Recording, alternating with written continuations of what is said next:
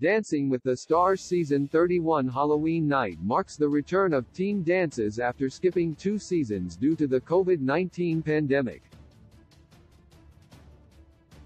Team dances were introduced in DWTS Season 7 in 2008 and were a staple on the show through Season 28 in 2019. However, due to the fact that the couples had to be separated due to pandemic protocols, rehearsals and performances for team dances were impossible in seasons 29 and 30.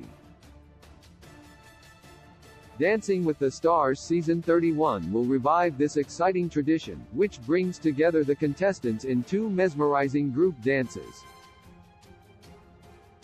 For the DWTS Halloween Night Team Dances, the remaining nine couples will be split into two groups. The panel, Carrie Ann Inaba, Len Goodman, Derek Hough, and Bruno Tonioli will judge the dances, and the stars on each team will all receive the same score. Those points will then be combined with their scores from their individual Halloween night routines performed earlier in the episode.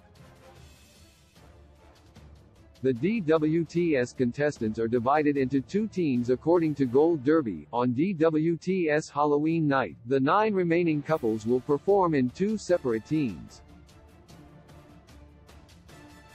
Team Wicked is made up of five couples, Vinny Guadagnino and Coco Iwasaki, Shangela and Gleb Savchenko, Heidi D'Amelio and Artem Chigvintsev, Jordin Sparks and Brandon Armstrong, and Gabby Windey and Alan Bersten. Gabby's regular partner Val Chmerkovskiy tested positive for COVID-19, and will not be able to dance. Gabby has tested negative. Team Wicked will dance to The Witches are back from Hocus Pocus 2. The other DWTS team, Team Scream, has four couples, Charli D'Amelio and Mark Ballas, Wayne Brady and Whitney Carson, Daniel Durant and Britt Stewart, and Trevor Donovan and Emma Slater. They Will Dance to Heads Will Roll by Yeah Yeah Yeahs. DWTS team dances are interesting because they can help or hurt contestants depending on who is on the team.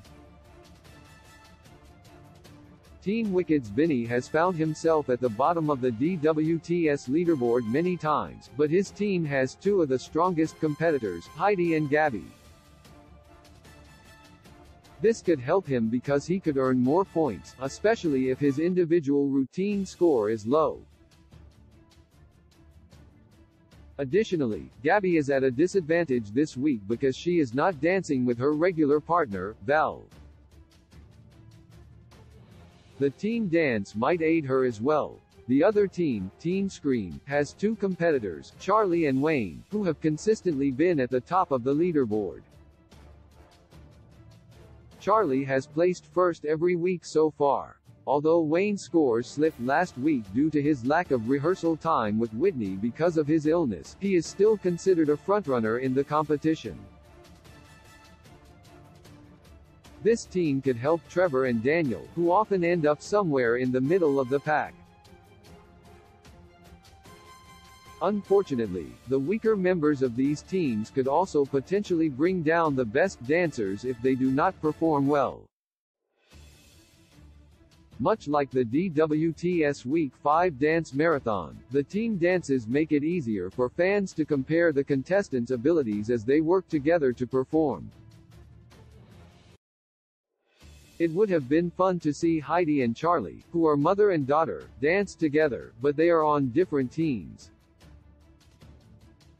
It is always exhilarating to see what the professional dancers create together. The DWTS Season 31 cast is very supportive of each other, so it will be thrilling to see them collaborate on these Halloween night team dances. Dancing with the Stars streams Mondays at 8 p.m. Eastern Time on Disney+. Source, Gold Derby